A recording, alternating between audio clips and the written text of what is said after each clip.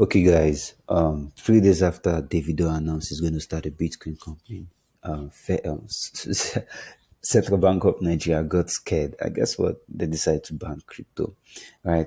So now this is a whole bunch of fake news. First of all, you can't ban crypto. Secondly, you hear stuff like uh, maybe uh, central bank wants to ban it because Yahoo boys use a lot of crypto. Um, central bank wants to ban it because of these because of that and that and this. Okay now first of all i'm going to show okay when you guys watch this video i'm going to put a link in the description all right? So there's a video after this one which i'm going to make. I'm going to show you guys the real true the new regulation about cryptocurrencies in nigeria. And guess what? That regulation has been going on for the past four months now but nobody notices it except if you're deep into crypto and deep into online transactions you will understand. Hi guys you welcome to my channel. Make sure if you've subscribed make sure you subscribe. If you haven't subscribed make sure you subscribe right now.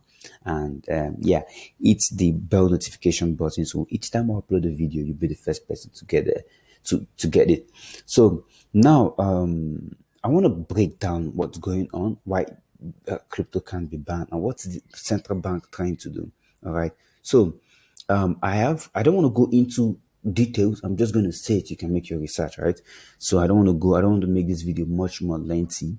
And um, because I, if you want a lengthy one, I'm going to explain everything in my webinar class. And um, there's a link in the description. It's always Sundays. Just download your Zoom app. It's always Sundays at 8 p.m., right? Sundays at 8 p.m. Nigerian time. All right. So now I have this stuff on my screen. I'm going to use it as my marker board. I'm going to explain to you what's happening. So first of all, if you understand the fact that um, cryptocurrency is decentralized, you get to know that um, nobody can touch it. If you understand what, if you read the Satoshi's um, white paper, you understand nobody can touch it. And now, if you want to place a bet right now, I'm going to place a bet of $300. I'm serious about this, right? Comment in, in, in the comment, I'm going to place a, place a bet of $300. I'm going to pay you in um, BTC. In the next two months, we're going to wait if CBN is going to really um, ban this stuff. Now they'll come up with something they call regulation. That regulation, you guys are going to be like, uh, uh, um, what's going on? What is really going on? Now with three hundred dollar, I want to stake three hundred dollar. So and um, I want somebody out there to come up with its own three hundred dollar and let's bet because this is not going to happen. All right. So now these guys are scared. These guys are buying crypto. These guys know exactly what they're doing. Now I want you to Google, um, um, I want you to Google 2020. So Google, let's, let's do this. Let's do this together. Let's do this together, guys. Nigerian crypto conference in Dubai. All right guys so now once you google nigeria crypto Con um, conference in dubai and click on images i'm going to show you what these big guys are doing. Now you can see this is uae all right? So this is this is uae nigerians are represented in um, in dubai but that one doesn't have a lot of information. Then i'm going to show you something.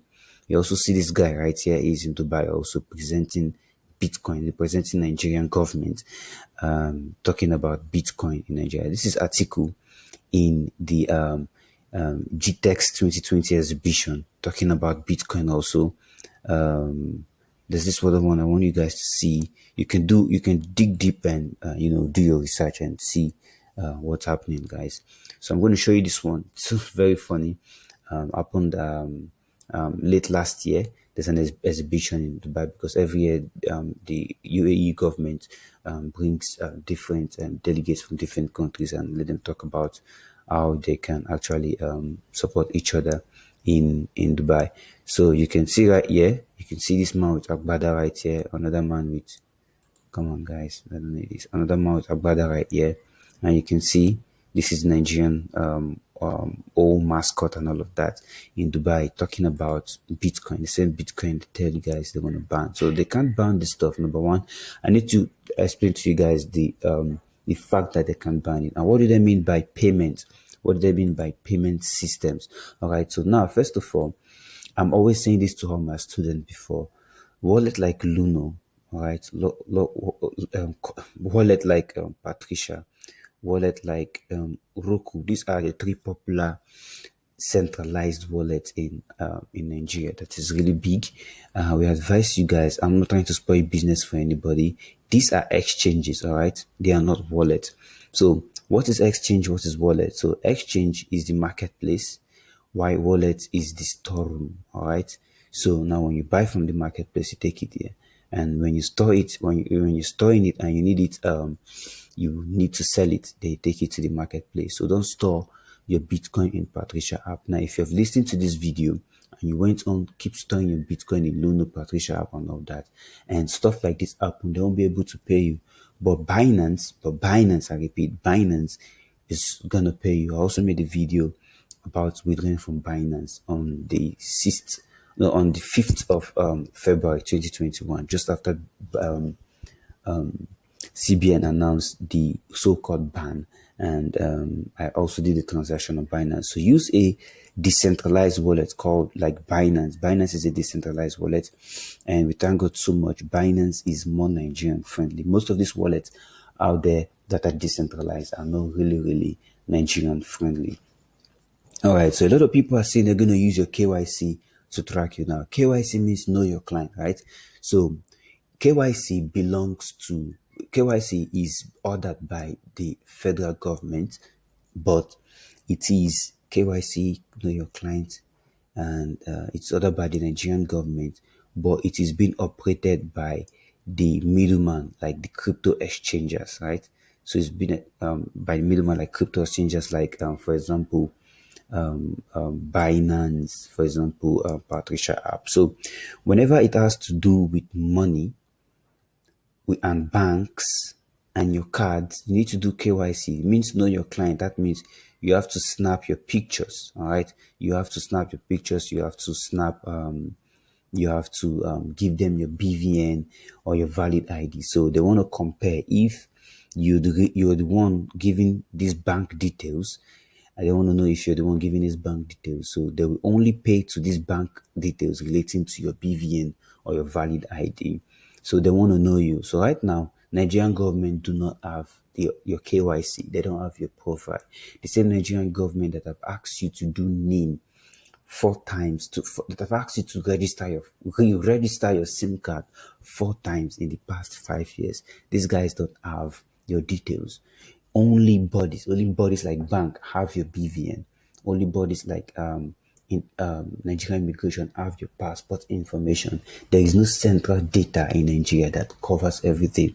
So one of the reasons why they want you guys to do your name, let me just say one of the reasons why they want you guys to do your name is the fact that we tormented them during the EndSARS protest. So this time around, they want to really control everybody. So when they see you post some Jubilee stuff online, they can just shut down your number and um, make sure they shut down that number and you won't be able to get back, get another SIM. So these are some of the crazy ideas, man. It's crazy being a Nigerian, guys. I'm sorry to say that. So, but, um, you really need to understand all this stuff and really need to know where you stand. So I just explained KYC. The Nigerian government can't use your KYC. And guess what? Um, um, your information is safe, especially with Binance. There's a place in Binance um, terms and condition where they say your your KYC cannot be shared to any outside body, including the government. Guys, go read your terms and condition and see what you're gambling into. So I recommend Binance. I've been recommending Binance for a long time. If you check my YouTube channel, you're going to see a lot of Binance information. And if you need a link to subscribe to register to Binance because you just want to appreciate this information, you just said, of course, the link is in the description below. And once you do that, you get 10% kickback of every commission they take from you. So, all right, guys, um, next thing you need to understand is the core, the what is uh, what when they say cryptocurrency is decentralized. So now there's what we call the white paper, the Satoshi white paper. I'm going to open a new. Um, I'm going to open a new and search for Coin Market Cap. Coin Market Cap. So now if you click on Coin Market Cap, all right, this is where we look at um, cryptocurrency. So now we have this in, in we have stuff like this for Wall Street for all the shares and all of that. So, but those ones are manipulated. This is Bitcoin. You can't manipulate everything. There's what we call source code. Everybody can see what's going on. Every programmer can just bring this source code, source code and see what's going on. So now there's a source code for Bitcoin. You can see what, what says here source code. Now if you click on this source code, it's going to take you to a website. But I want to click on white paper. This white paper is established by Satoshi and it was last edited in 2010. And ever since then, nobody has touched it till date. So whatever problem Bitcoin we have in the future, Satoshi has already visualized it and made a programs out there. So example of that is Bitcoin Lightning. So the big fees you're seeing on Bitcoin is going to reduce so, so, so, so much by the end of this year. That because of Bitcoin Lightning. Now, I will advise you guys to, you know, download this PDF stuff. I'm going to put a link and also you can download this PDF stuff and go through Satoshi white paper. There you'll be able to see the fact that Satoshi is trying to curb, um, this is you. This is me. You want to transfer money from me from you to me with Bitcoin, you're just doing this transfer, but with the normal banking system today, you're taking it to a third party like Flutterwave, Paystack, and it's going to the bank, and bank sends it to another middleman and goes to you. So this guy is going to charge you. This guy is going to charge you. This guy is going to charge you. But with blockchain, nobody's charging you. So, but right now we are facing charge fees, and those fees are a result of scaling. I don't want to talk about scaling right now.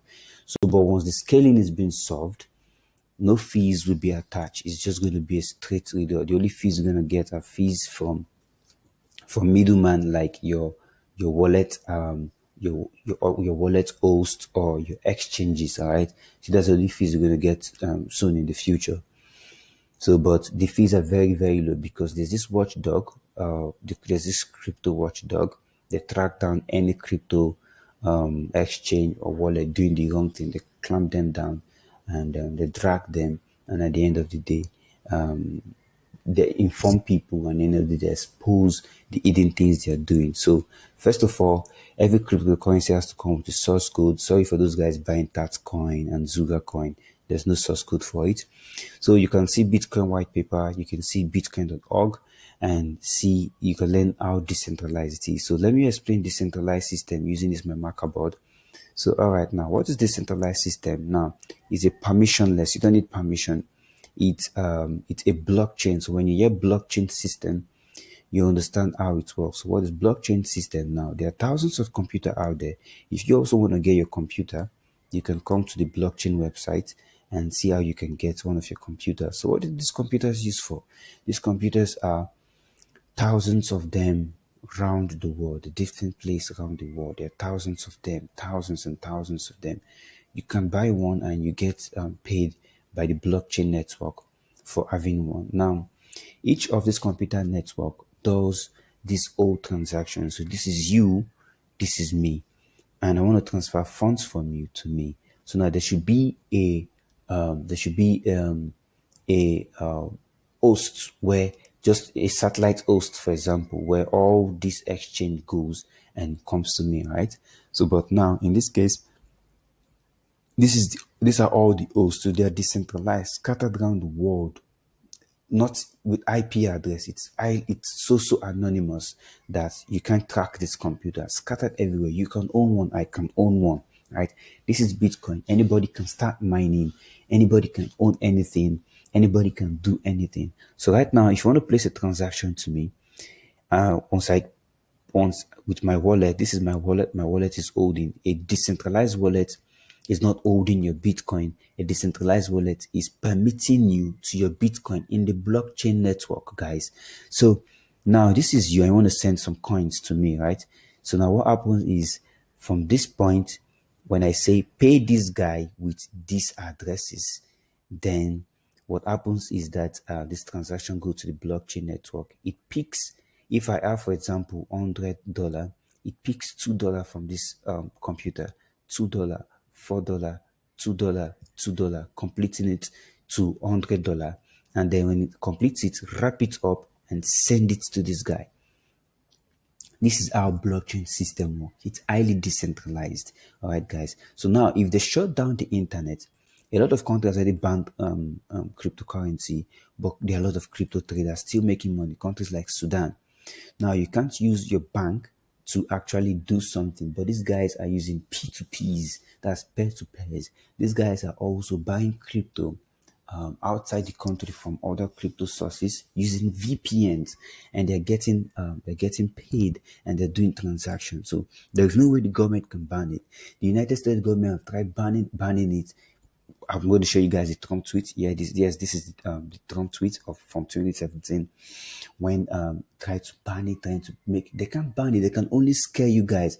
And guess what? The Nigerian scare caused just this movement, guys. It's so so funny the whole big scare and rant and and the whole blah blah blah caused Bitcoin to fall from to fall from 38 200 from 38 200 to um to 36 to 36 600 and now we can see that same day bitcoin started moving backward and now back up to 39 so there is nothing that can be done about it.